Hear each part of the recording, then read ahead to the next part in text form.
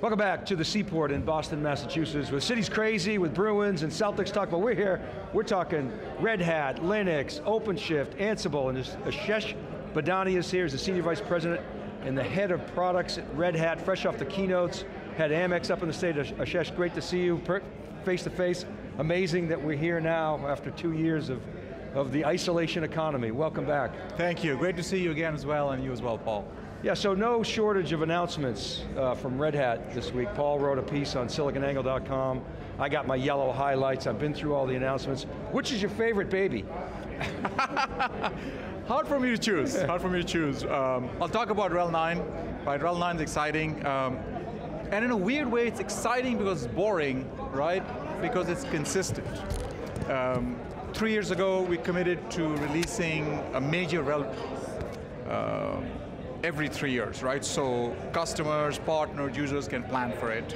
Um, so we released the latest version of RHEL. In between, we've been delivering um, releases every six months as well, minor releases.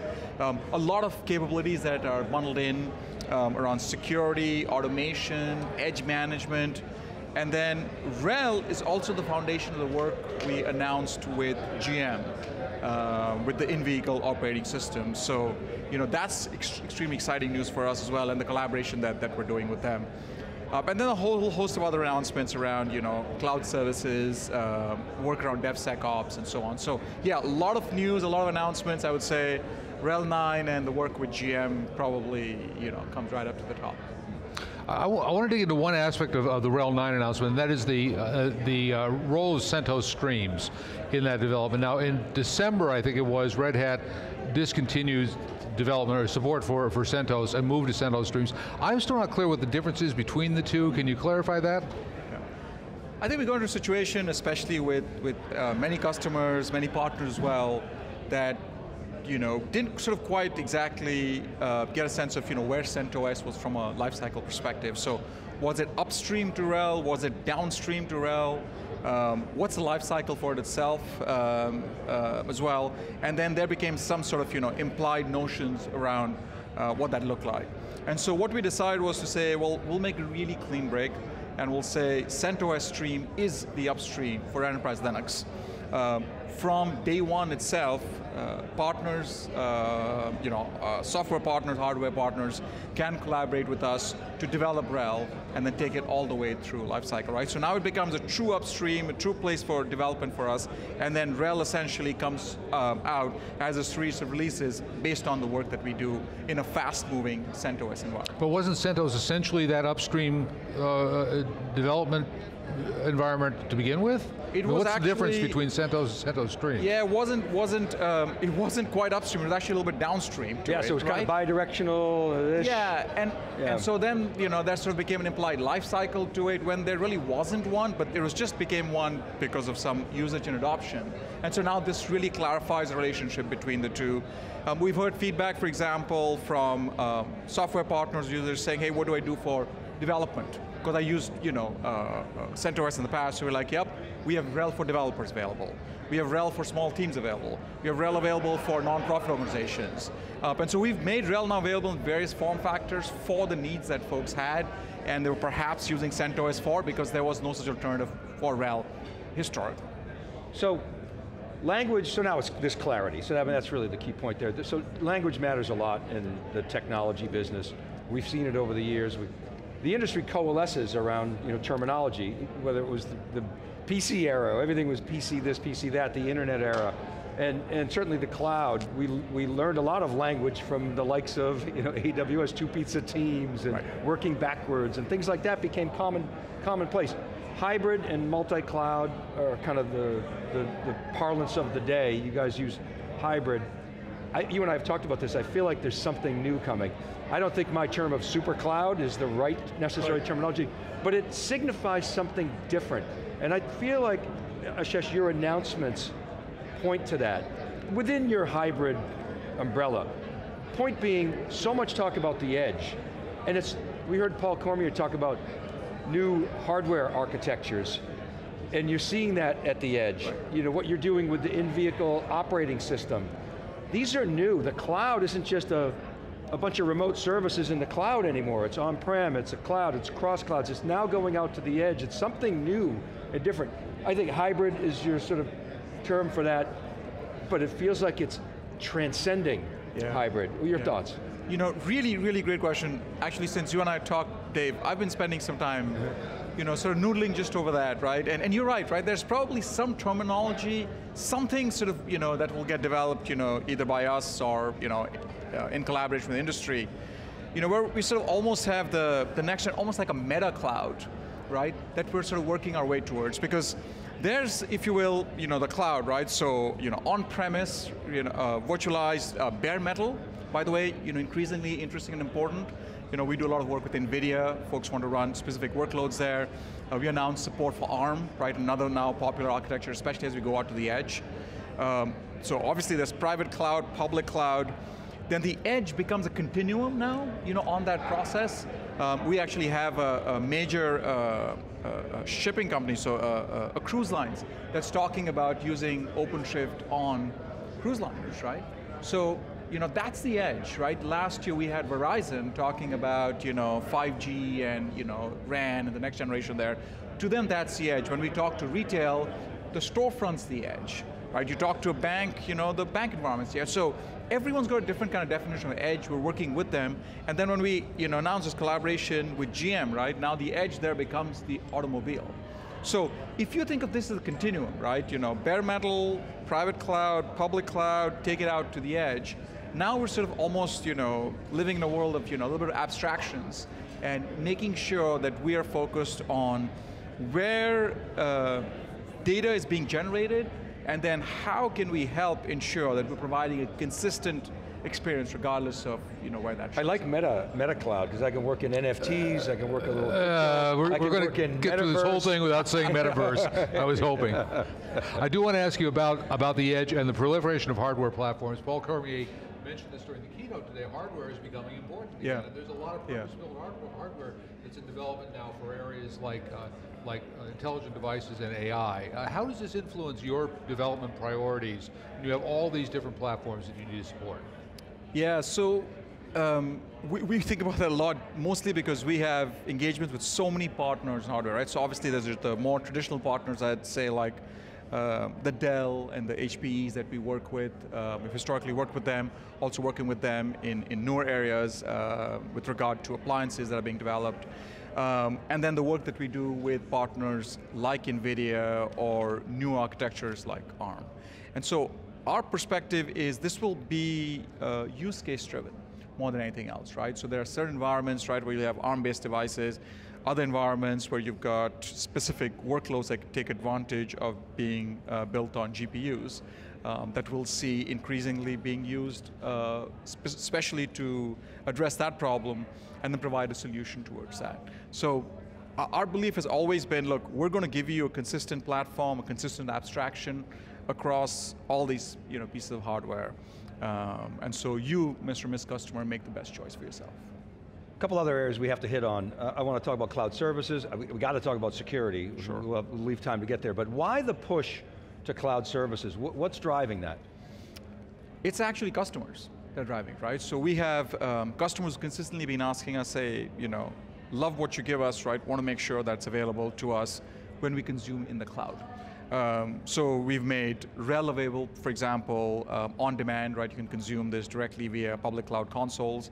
We are now making it available via marketplaces. Uh, talked about Ansible, um, available as a managed service on Azure. OpenShift, of course, available as a managed service in multiple clouds. Um, uh, all of this also is because you know we've got customers who've got these uh, committed spends that they have you know with cloud providers. They want to make sure that the environments that they're using are also counting towards that. And at the same time, give them flexibility, give them the choice, right? If in certain situations they want to run in the data center, great, we have that solution for them. Other cases they want to procure from the cloud and run it there. We're happy to support them there as well. Let's talk about security, because a lot of announcements, it's like security everywhere. Yeah. Um, and then some specific announcements as well. I, I always think about these days, in the context of the solar wind supply chain hack, would this have, you know, how would this have affected it? But tell us about what's going on in security, your philosophy there, and the announcements that you guys made. So our secure announcements actually span our entire portfolio. Yeah. right? And, and that's not an accident, right? That's by design because you know, we've really uh, been thinking and emphasizing you know, how we ensure that security profile is raised uh, for users, both from a, a, malicious perspective and also helping accidental issues, right? So, so, so both matter. So one, uh, huge amounts of open source software you know, out of the world, you know, and then estimates are you know, one in 10, right, has some kind of security vulnerability uh, in place. A massive amount of change in where software is being developed, right? So rate of change, for example, in Kubernetes is dramatic, right? Much more than even than Linux, right? Entire uh, parts of Kubernetes get rewritten over, over a three-year period of time. So as you uh, introduce all that, right, being able to think, for example, about you know, what's known as shift-left security or DevSecOps, right? How do we make sure we move security closer to where development is actually done?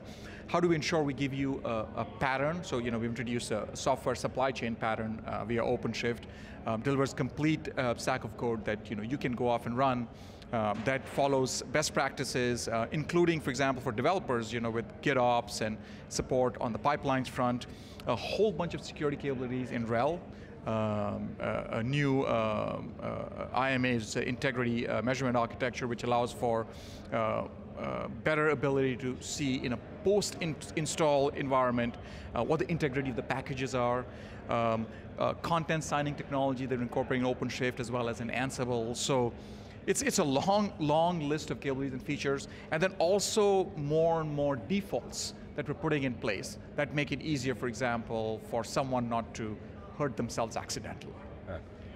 On the security front, I noticed that uh, this today's batch of announcements included support within OpenShift pipelines for SigStore, which mm. is an open source project that was birthed actually at Red Hat. Right. Uh, we haven't heard a whole lot about it. How important is SigStore to, to you know, your future product direction? Yeah, so look, I, I think of that, you know, as you know, work that's you know being done out of our CTO's office, um, and obviously security is a, is a big focus area for them. Um, SigStore is a great example of saying, look, how can we verify content that's in uh, containers, make sure it's you know digitally signed, that's appropriate uh, to be deployed across a bunch of different environments. Uh, but that thinking isn't maybe unique uh, for us um, in the container side, mostly because we have you know two decades or more of thinking about that on the RHEL side. And so fundamentally containers are being built on Linux, right? So a lot of the lessons that we've learned, a lot of the expertise that we've built over the years in Linux, now we're starting to you know, use that same expertise, starting to apply it to containers. And I'm, my guess is increasingly we're going to see more of the need for that you know, into the edge as well. I, I, I picked up on that too. Uh, let me ask a follow-up question on SigStore. So if I'm a developer and I and I use that capability, it, it ensures the provenance of that exactly. code. Is it immutable?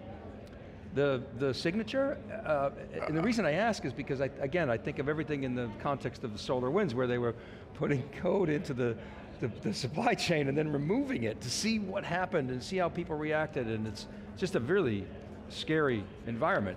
Yeah, the hardest part, you know, in, in these environments is actually the behavior change. So what's an example of that? Um, packages built, verified you know, by Red Hat, when it went from Red Hat to the actual user, have we been able to make sure we verify the integrity of all of those when they were put into use? Um, and unless we have behavior that you know, make sure that we do that, then we find ourselves in trouble. Um, I see. In the earliest days of OpenShift, uh, we used to get knocked a lot by, by developers because they said, hey, this platform's really hard to use. We investigate, hey, look, why is that happening? So by default, we didn't allow for root access. You know, and right. so someone's using you know, the OpenShift platform, they're like, oh my gosh, I can't use it, right? I'm so used to having root access. We're like, no, that's actually sealed by default because that's not a good security best practice. Now, over a period of time, when we you know, ran that enough times, explained that enough times, now behavior change, it's like, yeah, that makes sense now right? So even just kind of, you know, this behaviors, the more that we can do, for example, in, in you know, the shift left, which is one of the reasons, by the way, why we bought uh, StackRox a year ah, ago, right? Yep. Right? Mm -hmm. For declarative security, container native security. So threat detection, network segmentation, uh, watching intrusions, you know, uh, malicious behavior is something that now we can, you know, essentially make native into uh, development itself. All right, I'm going to escape key, talk futures a little bit. So I went downstairs to the expert you know, ask the experts, and there was this awesome demo, I don't know if you've seen it, of, um, it's like a design thinking booth. with uh, what happened, how you build an application. And I think they were using the WHO, one of their apps um, during COVID. And it's, you know, shows the, the granularity of the, the, the stack and the development pipeline and all the steps that have to take place. And it strikes me of something we've talked about. So you've got this application development stack, if you will, and the database is there to, to support that. And then over here you've got this analytics stack, and it's separate. And we always talk about injecting more AI into apps, more data into apps, but they're separate stacks. Do you see a day where those two stacks can come together, and if not, how do we inject more data and AI into apps? What are your thoughts on that? So uh, that's another area we've talked about, Dave, in the past, right? Um, so we definitely agree with that, right? And and what final shape it takes, you know, I think we've got some ideas around that. What we started doing is starting to pick out specific areas where we can start saying, let's go and see what kind of usage we get from customers around it. So for example, we have OpenShift Data Science, which is basically a way for us to talk about ML ops, right? And you know, how can we have a platform that allows for different models that you can use. We can um, test and train data, different frameworks that you can then deploy in an environment of your choice, right? And we run that uh, uh, for you uh, and assist you in, in um, uh, making sure that you're able to take the next steps you want with, with your machine learning um, algorithms. Um, there's work that we've uh, introduced at Summit around database as a service, so essentially our a, cloud service that allows for DBaaS, or an easy way for uh, customers to access either MongoDB or, or Cockroach in a cloud native uh, fashion. Um, and all of these things that we're sort of you know, experimenting with is to be able to say, look, how do we sort of bring the worlds closer together, right? Off database, off data, off analytics, with a core platform and a core stack, because again, right, this will become part of you know one continuum that we've got to work with. It's not, I I like your continuum. That's, that's I think, really instructive. It's not a technical barrier, is what I'm hearing. It's maybe organizational mindset. I can, I should be able to insert a column into my, uh, my, my application you know, development pipeline and, and insert the data. I mean, Kafka, TensorFlow in there. There's no Right. technical reason I can't, can't do that. It's just we've created these sort of separate stovepipe organizations. you- 100% right, right? So they're different teams, right? You got the platform team or the ops team, and you got a separate dev team. There's a separate data team. There's a separate storage team, and each of them will work, you know, slightly differently, independently, right? So the question then is, I mean, that's sort of how DevOps came along. Then you're like, oh, wait a minute, Yeah. don't forget security, and now we're in DevSecOps, right? So the more of that that we can kind of bring together, I think the more convergence that we'll see. Yeah, when I think about the in-vehicle OS, I see the, the, that is a great use case for real-time AI inferencing, Right. streaming data. La- And last I wanted to ask here. you that about that real quickly because at the very you know, just before the conference began, we got an announcement about GM, about your Yeah. partnership with GM. It seems like this came together very quickly. Why is it so important for Red Hat? This is a whole new category of, of application that you're going to be built working on. Yeah, so we've been working with GM, not publicly, uh, for, for a while now, um, and it was very clear that, look, you know, GM believes this is the future, right? You know, electric vehicles into autonomous driving.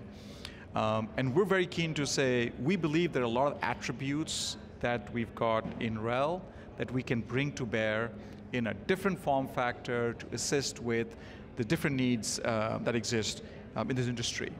Uh, so one, it's interesting for us because we believe that's a use case that you know we can add value to. Um, but it's also the future of automotive, right? So the opportunity to be able to say, look, we can get open source technology, we can collaborate out with the community to fundamentally help transform that industry uh, towards where it wants to go. Uh, you know that that's just the passion that we have. That you know is what wakes us up every morning. You're, you're, you're opening into that. Yeah. Ashesh Badani, thank you for coming on theCUBE. Really appreciate your time and your insights and uh, have a great rest of, rest of the event. Will do. Thank you for having me. MetaCloud, it's a thing. Medical. Uh, It's a thing, right? It's, it's, it's kind of there. We're going to we're gonna see it emerge over the next Talk decade. All right, you're watching theCUBE's coverage of Red Hat Summit 2022 from Boston. Keep it right there, but right back.